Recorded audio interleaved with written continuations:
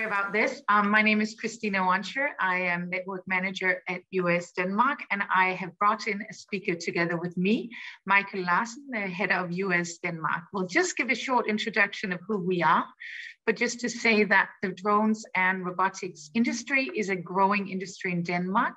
And we see that in a five-year period of time, our everything will increase by threefold, both in the number of employees and in the number of uh, exporting. Odense Robotics is a national cluster where our mission is to drive forward innovation and growth to the robotics and drone industry.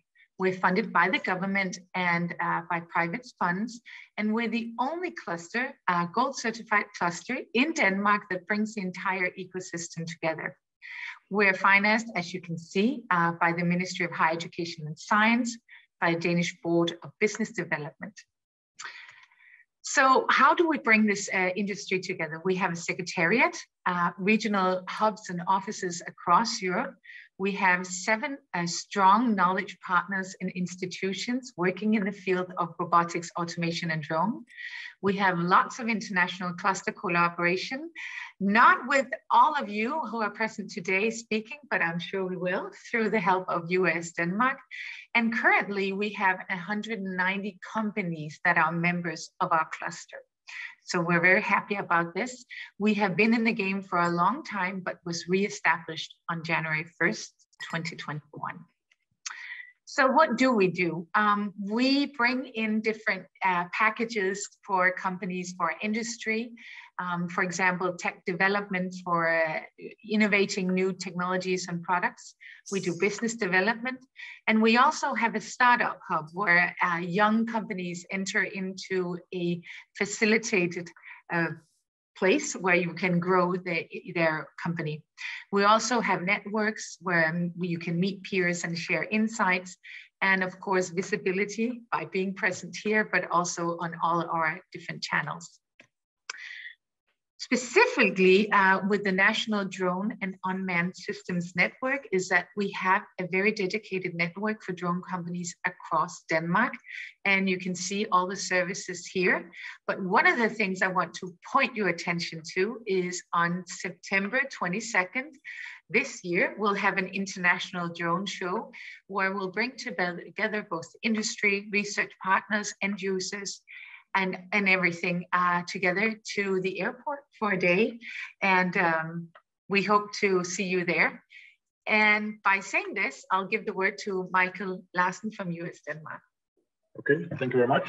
Yeah, so one of the new things in Denmark is that we used to run the, the Danish National Test Center and the cluster part together. But from January 1st, as Christina said, we are now two organizations. So Odense Robotics runs the network and the cluster in Denmark, and is, I guess, part of the drone cooperation with you guys. And then we run out of the airport in Odense, we run the, the National Test Center. I'm the head of the, the test center and, and is working with business development for that and would like to yeah, work with some of you as well. Uh, it's a partnership in Denmark uh, run by uh, the airport and the city of Odense and the University of, of Southern Denmark. Uh, we're based in one place uh, in an active airport I used to think when we started out 10 years ago that it was uh, uh, quite of a task to run a test center in an active airport, and it has been. But now we actually also see the, the benefits of that as we are now the, uh, the national UTM uh, test bed, and we're starting to uh, and hoping to be to, to integrate traffic more in the, in the coming years. A few more details. We have a fixed airspace uh, where we routine uh, on a routine basis fly beyond visual line of sight. Um, uh, and we can get out to about 30 kilometers distance and 3,000 feet. And uh, uh, later this, after summer, I think we have uh, applied for an extension of that airspace. So we will connect to a military airspace in Denmark and, and be able to, to use that as well. we support our clients and cooperation partners also with the uh, risk assessments. And as Denmark actually started using the SORA in 2018, uh, we have some experience with that now.